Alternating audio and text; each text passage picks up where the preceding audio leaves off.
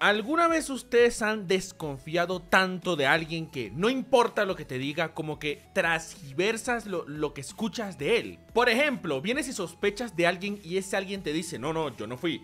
Y vienes tú y le dices, eso diría alguien que... ¿Sí me entiende? Eso me está pasando con One Piece. No confío en nadie, viejo, en nadie. Todos son unos espías. ¿Qué tal, chicos adultos? Soy el de aquí con silla, barbón, no me acuerdo qué digo. Y esto es Lunes de.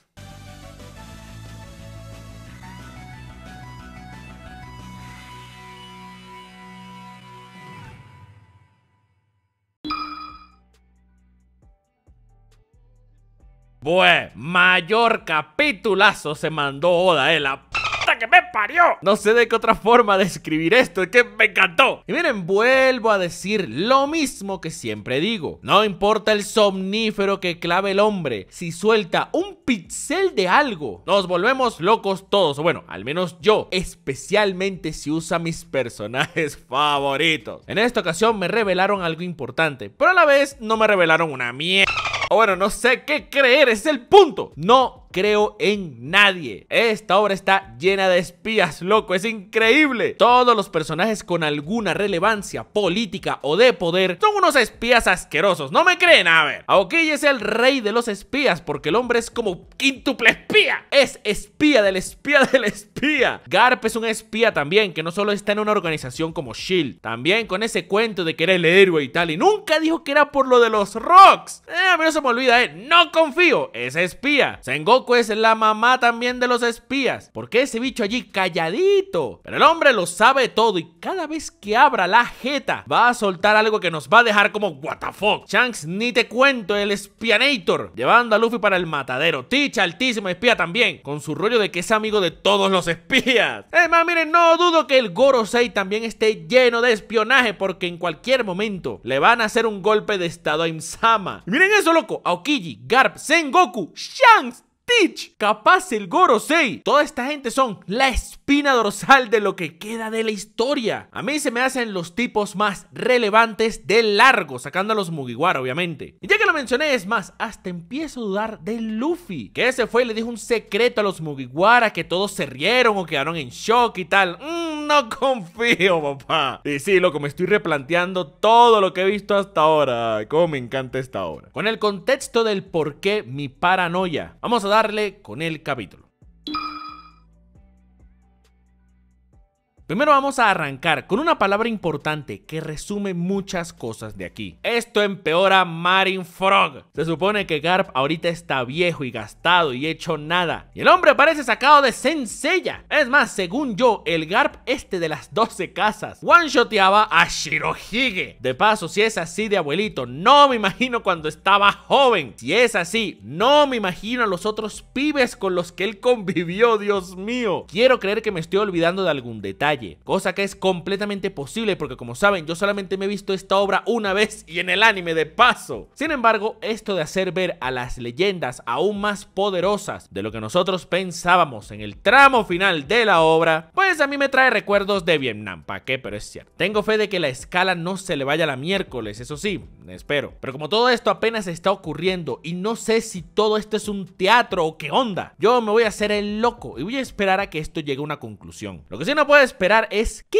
carajos con Aokiji? A pesar de que yo le vengo diciendo espía desde Water 7, no dimensioné lo espía espía que era, en serio, es como quíntuple espía. Creo que he dicho la palabra espía como 100 veces, ¿cierto? No te puedo creer que este bicho se haya echado unos tragos con Teach, weón. ¿Qué está pasando? De paso, no es que solamente es pana de Teach, es su décimo capitán. Bueno, Ya que me llamó la atención dos cosas en particular. Primero, Teach le dice que un pirata no es el que se da besitos y abracitos, sino que son los que siguen una meta en común, mi padre Dios. El paralelismo con Luffy sigue vigente y más fuerte que nunca sin embargo, me llamó fue la atención que se hace alusión a que esa es la razón por la que Aokiji se une a Teach. Y no le creo una mierda viejo. No dudo que ambos tengan alguna meta en común, capaz el tomar control del gobierno, qué sé yo. Pero ni cagando es algo tan sencillo. Aokiji está involucrado en demasiadas, pero demasiadas cosas. La marina, la gente de SHIELD, la tripulación de Garp, Ohara, los mismos Mugiwara. No, lo viejo, en todo el mundo. ¿Qué podrá ser, la verdad? Pues ni puta idea. Tendría que releerme todo a ver si pillo algo pero de momento no confío. Segundo, hubo un panel que me voló el cerebro, tanto que lo interpreté como el culo y los pibes del chat me hicieron bullying como siempre. Están hablando del gobierno mundial del One Piece y yo qué sé. Y viene Okiji y dice que Enohara no vio algo así. Mmm,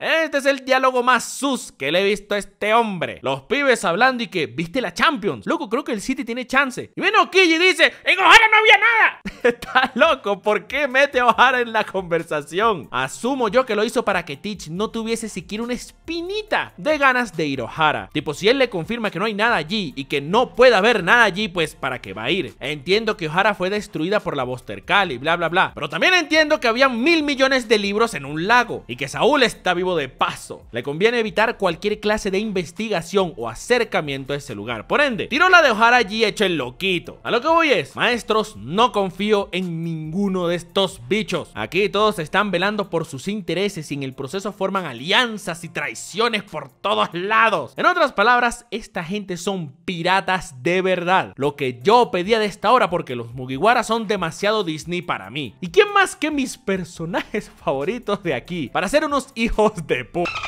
Solo falta Sogeking. Y ahí sí te digo yo que se armó el Olimpo. Ah, otra cosa. Oda por un lado me complace metiendo a mis pibes favoritos en este desmadre de piratería y política, que como saben es lo que más me gusta de esta obra. Por otro lado, no me complace haciendo que Teach gane. En efecto, el quitarle la fruta era algo irreal porque Levi es un PJ con sentido de aquí. Como dije, el arrebatarle los poderes es hasta peor que matarlo. Y pues miren, en efecto, el tipo se salvó de milagro porque Chopper entre mil opciones. Le dio una pastillita allí al panda ese hediondo. Y bueno, loco, lo salvó. Que bueno, siendo sincero, me llama la atención si esto afectará a Levi de alguna manera. Tal vez anímica o incluso puede que cambie todo lo que tenía previsto en un principio. Capaz si le da un giro total a sus planes o qué sé yo. Pero miren, aquí sale mi lado fanboy y la verdad, no creo que Levi pueda hacer algo que me dé más hype que su derrota ante Teach. Oh, bueno, eso creo yo, con Oda uno no sabe, viejo. Pero ni modo, toca esperar. Ah, todo lo que tenía que hacer era poner a Teach a decir rum, más nada. Ni modo, loco, no todo puede ser perfecto, ¿verdad? Así es la vida.